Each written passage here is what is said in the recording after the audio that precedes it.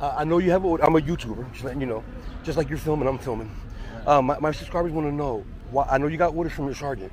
Why do you guys wake up these guys when there's a lot of crime around here? I hear shootings around here, dealers selling drugs. You can't be out here. It's I understand that. Center. But but do you agree with me though?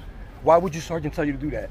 Uh, we just we're, just we're just trying to make sure that they're everything they're okay. Right, right. Right, that's- but I'm watching him is. kicking them, telling them to get up. That's you know what I'm saying? That's, that's all it is. This is for my Rocky fans only.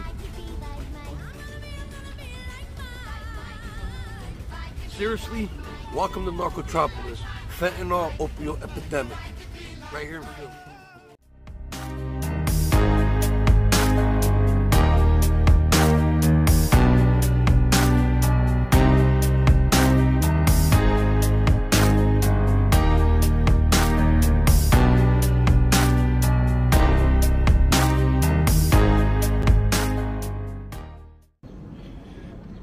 What's up, YouTubers? This is Mike for Narcotropolis. Um, if you watched yesterday's upload, first let me say if you're new to the channel, please like and subscribe. Make sure you hit that notification bell so that way you're notified when I go live every Saturday morning, 11 a.m. Eastern New York time. Um, if you watched yesterday's upload, I did find Syd. I was talking to Syd. Uh, she was like she, she was very camera shy. I mean, she's embarrassed that she left, so I can understand. She wanted me to put the camera down.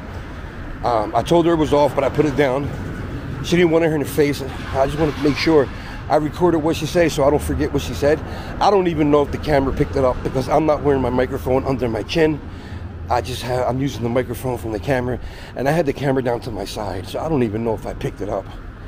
But I know what she was telling me, so I'll edit it and I'll write down on the bottom of the screen um, what she said. Of course, um, this is the day after upload, so I really didn't edit that yet, even though it's up. It's weird how editing YouTube videos go. It's already up. If you're watching this, it's already up yesterday. But right now, as I'm speaking, I didn't edit it yet. But if you're watching this, yes, it's up. Yesterday's upload with Syd. Uh, very disappointed, very sad. Um, that's how. That's how. I'm good, thanks. That's how, that's how strong uh, the addiction fentanyl is, man. It's it's man. It'll it'll rip the heart right out your kids, man, and your mother and your father. It really will, guys. Um, uh, it really will. It, it'll, it'll rip the hearts out of your loved ones talking to her, man. I wanted to hug her, but I seen her in her face. It looked like she really wanted, to, be like she didn't want to be bothered. It, it looked, she she looked ashamed. She spotted me coming. She was staring at me. Um, that's how I had it. Great, like it was her. And matter of fact, if you watch yesterday's upload, when it started, the the guy that said YouTube, I said not yet. Remember he was saying the YouTube guy? She was with him the whole time. I walked right by her, didn't even notice. I didn't even notice. And when I came back, that's when I noticed she was there. Oh man. Man.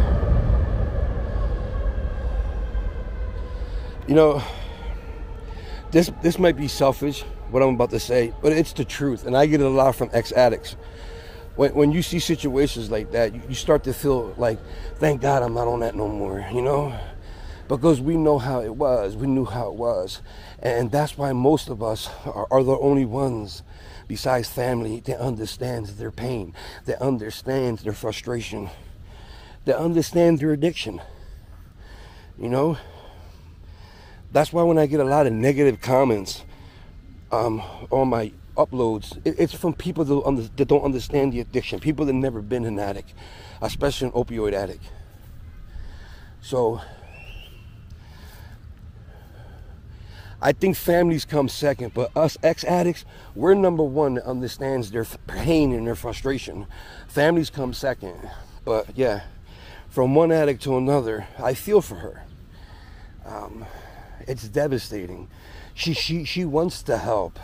You know what I mean? But but right now, they didn't invent a, a, a medication that not only takes the pain from the addiction, but also takes it mentally out.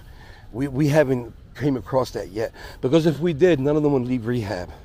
Uh, some rehabs give you, and I'm going to say it, bullshit comfort meds. Okay, bullshit comfort meds. Um, and you know, they expect you to sit there and, and be in pain. You know, and, and they're in a building that's supposed to be professional. You know, technology. We're in 2024, and we're still in pain from these places, and, and that was that's what makes us leave. You know if she was treated good in the rehab she was, I'm not saying staff was mean to her.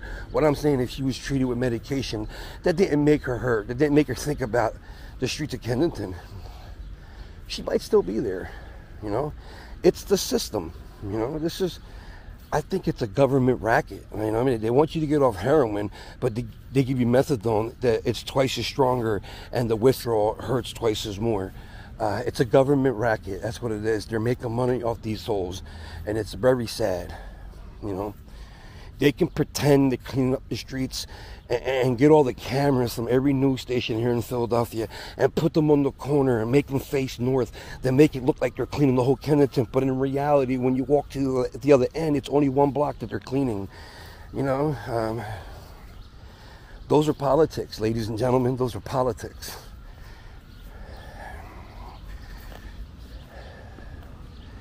and I really, really do feel for her. And, and, and my heart goes out to her mother, Rebecca, and her father, Jamie. Uh, Rebecca told me that Jamie would like to thank me personally, but I obviously he never had a chance, you know. But as a father myself, you know, my heart goes out to them. They're trying, you know, they can't force her. She's gonna want it and be ready to turn herself in to do it.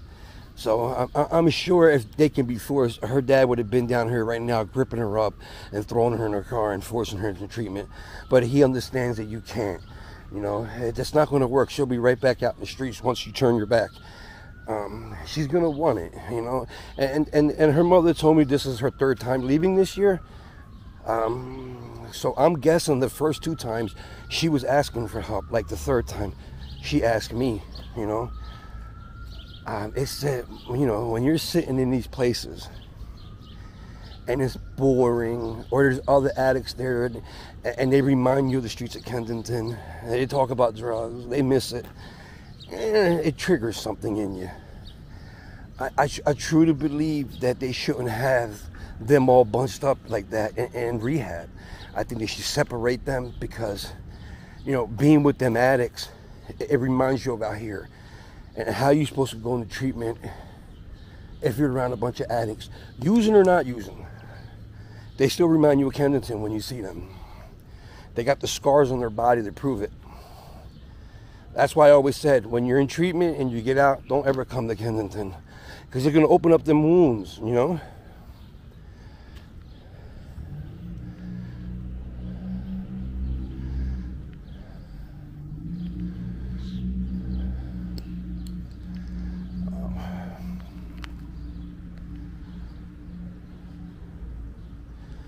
You know, she, oh man, you guys are watching this, and you watched yesterday's upload when I was talking to Syd, and I, I, I seemed very upset. And some of you might be thinking, why are you so upset? That was yesterday. Uh, guys, in reality, that was five minutes ago, ten minutes ago when I talked to her. You know, this is just an extension of that upload from yesterday. So I'm still feeling it very hard. You know, I'm getting emotional talking about it you know i'm not i'm not trying to get points man. I'm not you know how many people i help up the streets. It's not about that. It's about changing a life you know. If you have the power to do it do it. Look at the police officers over there. You see the police officers guy? Look show you. See them walking by? See the police officers walking by They just looked at them people on the bench using drugs. They ain't do nothing about it. Uh, like I said millions of times, they are told not to do nothing. I get it.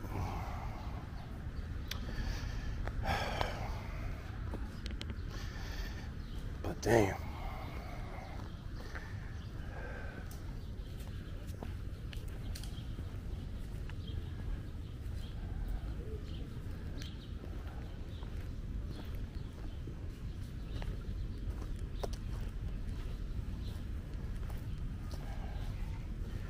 Pretty, pretty girls, man. It, you could tell they just started using.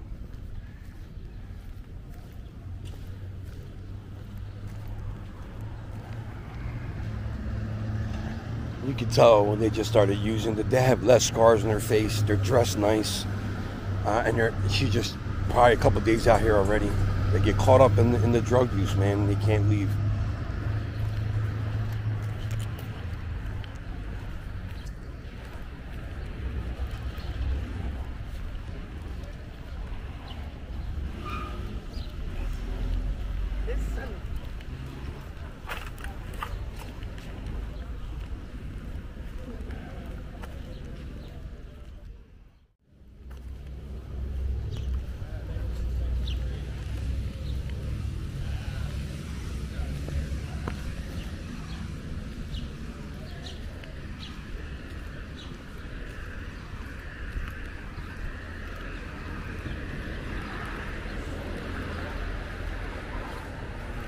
Let's see what the cops do.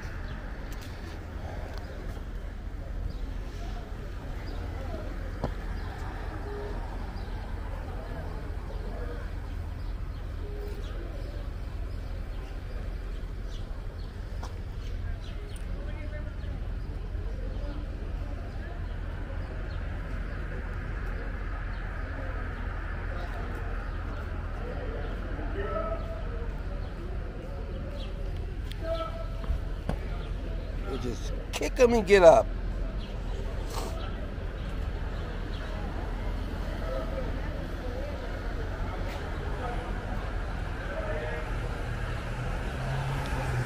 Let's go follow them, guys. They just kicking people. Wake up, wake up. Let's go see what they're doing.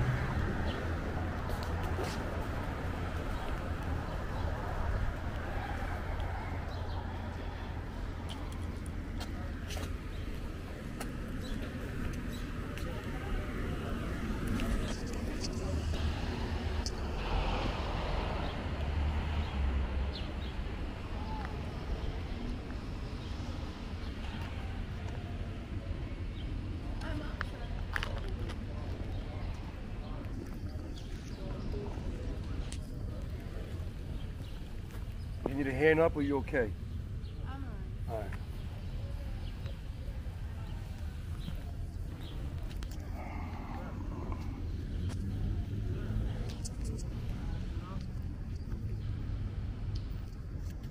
Why are they worried about people sleeping in the park when there's crime going all around all over this area?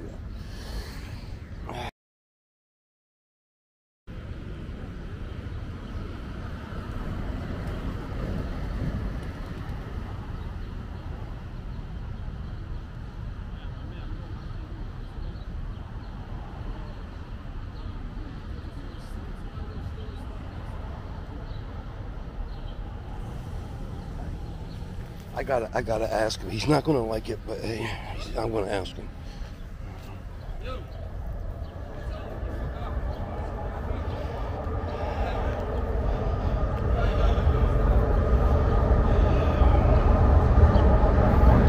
Excuse me, sir. I'm a YouTuber out here, right? I come out here, I got thousands of subscribers, right?